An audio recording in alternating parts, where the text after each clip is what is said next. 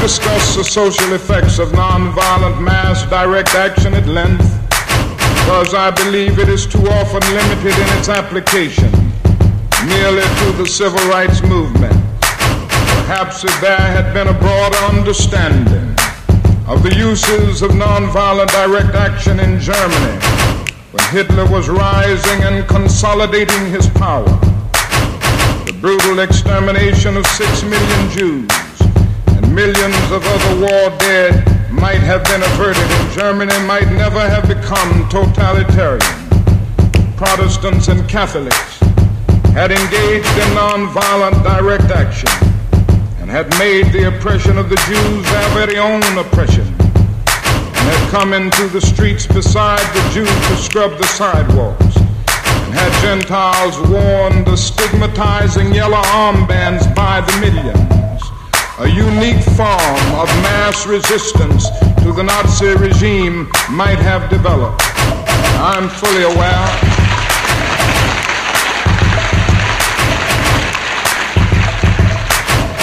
I am fully aware of the terror, the intimidation, the brutality, and the force the fascists were so quick to use.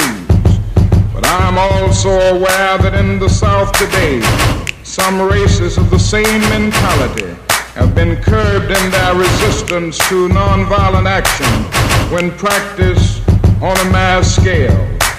Today, people all over the world should be engaging in mass action to protest anti Semitism in the Soviet Union. That is a dangerous silence today which unintentionally encourages evil to flourish. Was Albert Einstein right when he said, The world is in greater peril from those who tolerate evil than from those who actively commit it?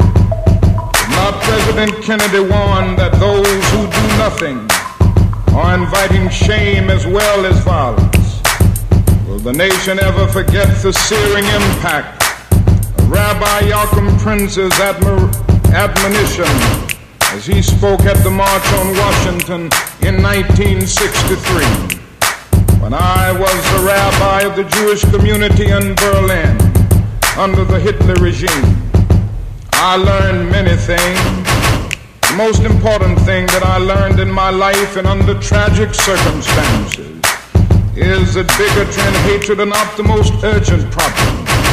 The most urgent, the most disgraceful, the most shameful, and the most tragic problem is silence. Great people which had created a great civilization had become a nation of silent onlookers. They remain silent in the face of hate in the face of brutality and in the face of mass murder. America must not become a nation of onlookers. America must not remain silent. Not merely black America, but all of America. It must speak up and act from the president down to the humblest of us, not for the sake of the Negro, but for the sake of the image the idea and the aspiration of America itself.